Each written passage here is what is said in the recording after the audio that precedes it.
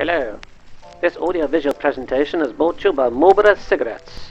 The discerning choice of cigarette between the 12 to 16 age bracket. Mums, if you're going to be picking up some cigarettes during your weekly shop for little Timmy this week, make sure it's Marlboro.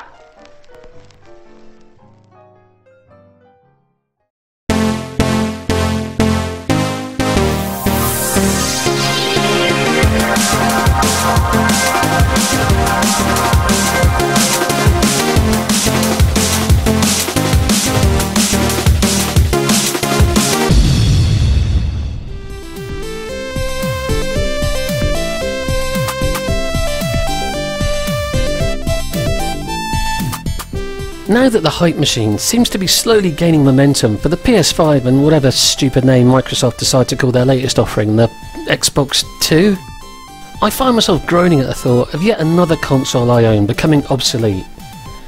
In the past though, planned obsolescence of an old system wasn't necessarily a bad thing, but over the course of the two most recent console generations, the 7th and 8th, I feel that things just haven't advanced enough to justify a ninth.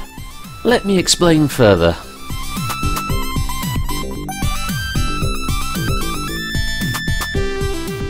When I was a wee lad, there were only really two main reasons for wanting to upgrade to a newer or different video game console or home computer. The first was normally because newer consoles and computers had better graphics and sound, a vital component in trying to replicate something at home that felt closer to the endorphin pumping audiovisual goodness of what you experienced in the arcade. The second reason was because newer systems would often release with exclusive games that you couldn't experience on older systems or rival consoles.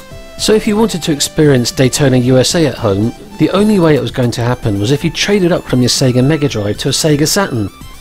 But if you were more of a Ridge Racer kind of guy, the only way that was going to happen is if you bought a PlayStation. In the past, I have twice bought an entire console for one game only. The original Xbox for Outrun 2, and the Xbox 360 for Hydro Thunder Hurricane. I hasten to add here, in both instances, this was quite late in both consoles' life cycles, so I got them for greatly reduced prices compared to when they first came out.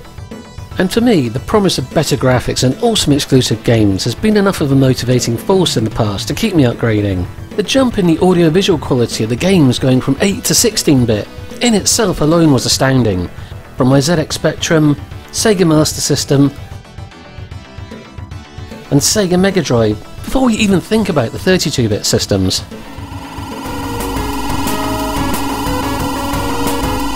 With the advent of the Sega Saturn and the PS1, home consoles were now capable of producing 2D games that looked just as good as the ones you'd find in the arcade. But this wasn't all. The PS1 and Saturn also heralded gaming's move away from 2D to 3D polygon graphics, with both machines being capable of 3D graphics in their games that the old 16-bit consoles just couldn't compete with. The PS1 was where I finally jumped from the good ship Sega into the unknown waters of Sony and fell in love with games like Metal Gear Solid, Ridge Racer Type 4, Wipeout 2097 and Resident Evil 2. Games that just would not have been possible on the old 16-bit machines, taking advantage of new hardware innovations, such as CD-ROMs that could store far more data than cartridges, allowing for games that were far bigger in scope than anything that had gone before them. Then the next generation came along and blew the old 32-bit consoles out of the water, with the Sega Dreamcast, as I've mentioned in another video, able to create amazing 3D graphics that looked as good as its arcade contemporaries. Sadly though, the Dreamcast's reign was short-lived, and after its premature death, I moved sideways, technologically speaking, onto the PS2, lured by the manly charms of Solid Snake after playing a demo of Metal Gear Solid 2 at a friend's house. After this, the original Xbox and Outrun 2 and Panzer Dragoon Orta persuaded me to sell my PS2, with a quick dip into Nintendo territory in the GameCube after this. Being a massive Star Wars fan back then, the game that swung me in the direction of the GameCube was Rogue Squadron, which frankly looked amazing, and that at the time yet to be released but looking equally amazing in magazine stills, F-Zero GX. So back then, I was quite happy to not only upgrade to a next generation console, but also to take a sideways step to a contemporaneous one, if that system had a couple of exclusive games I really wanted to play.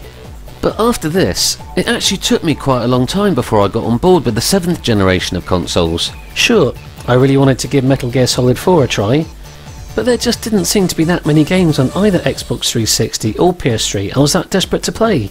Had gaming apathy kicked in now that I was getting older? It wasn't until I played Wipeout HD Fury on my mate Andy's PS3 on his big HD TV for the first time that the whoa factor really kicked in, and the jump in just how much more advanced the graphics were between the 7th and 6th generation of consoles really hit home.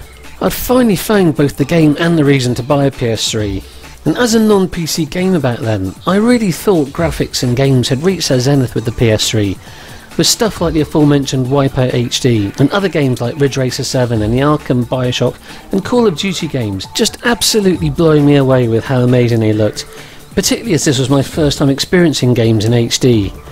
Sega and Namco even got in on the action with some excellent ports of some of their arcade titles. Then the PS4 and Xbox One were announced, and the apathy returned.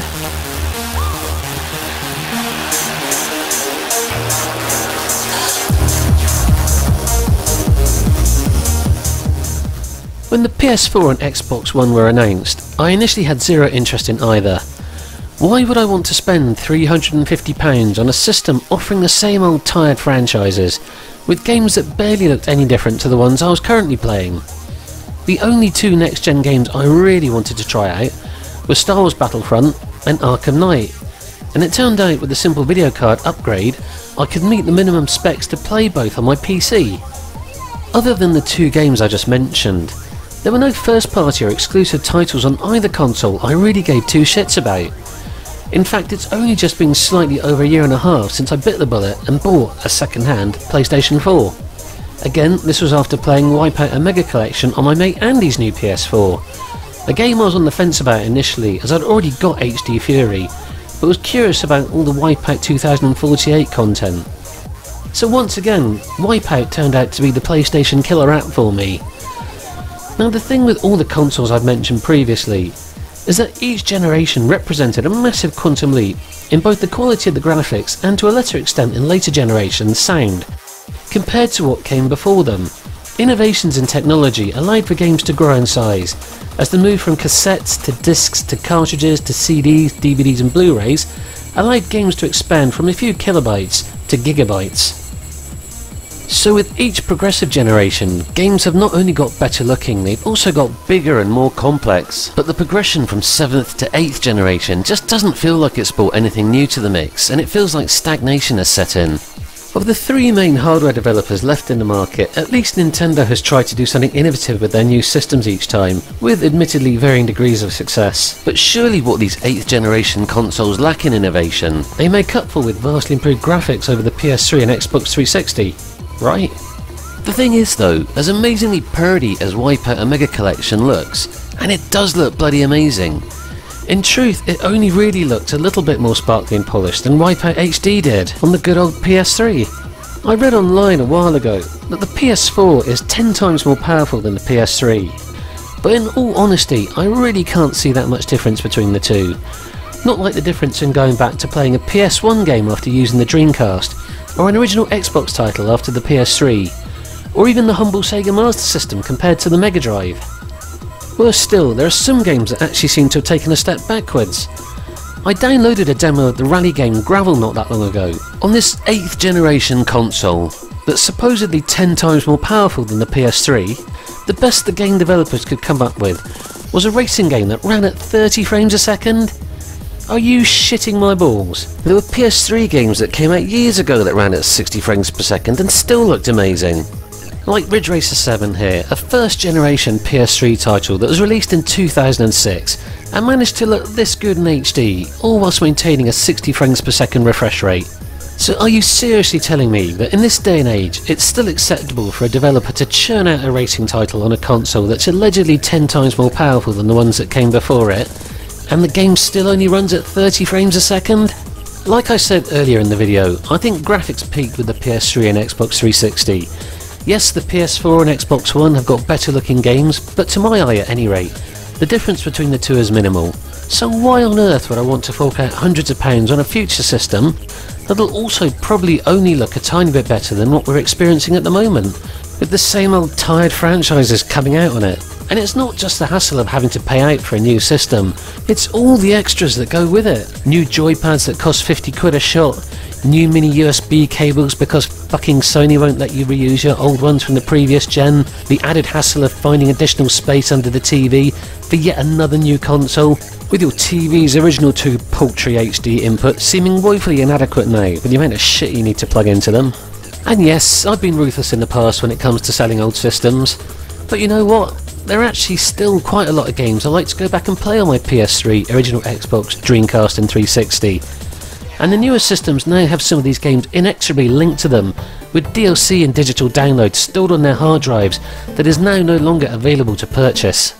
The issue of downloadable content and the direction the gaming industry is going in is also a cause for concern, with unscrupulous practices like on-disc DLC, microtransactions, DLC that really should have been part of the main game but has been intentionally left out to grab a quick buck, and the whole games as a service model and season passes that cost more than the game itself. Not to mention the games that now seem to regard single player content as an afterthought, that's if it's even included at all, with their main focus being only on online play.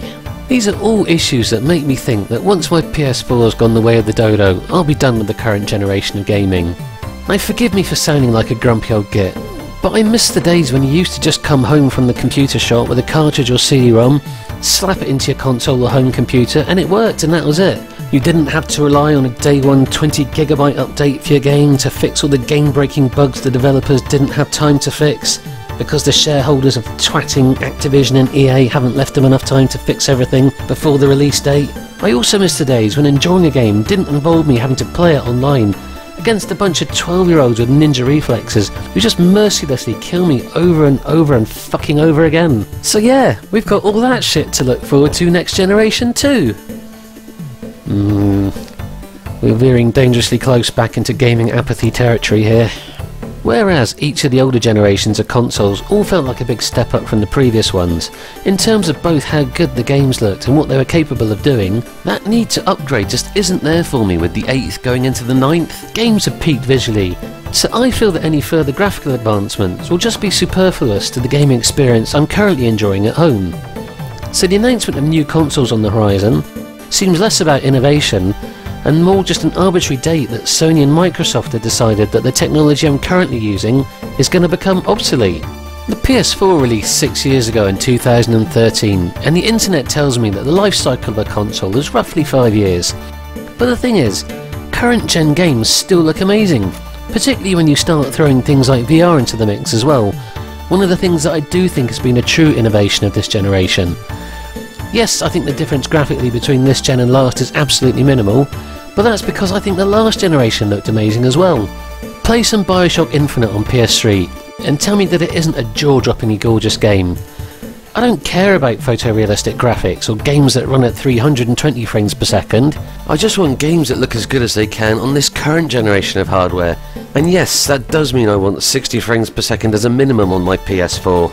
Sure, the PS4, Xbox One and PC versions of Bioshock Infinite are better looking, but as it is, does this really look like a game that needed to be graphically superseded? Trying to achieve that goal of continually improved graphics feels like a Sisyphean task to me, rolling that boulder uphill for eternity.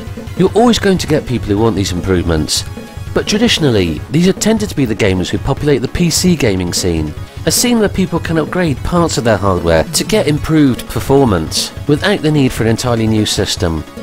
For those of us that are quite content with the performance of our current consoles, can't we just, you know, leave them to it and keep things as they are? Now I know I'm pissing in the wind here and that these industry changes will happen no matter how much I moan about it. But for the time being at least, can't we just be happy with what we've got?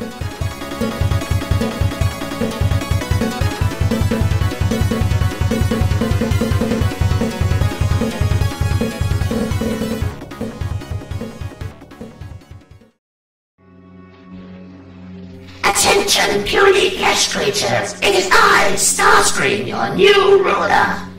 If you enjoyed this video, then make sure you like, share, and subscribe. Because if you don't, I'll know about it. And then you'll be truly sorry.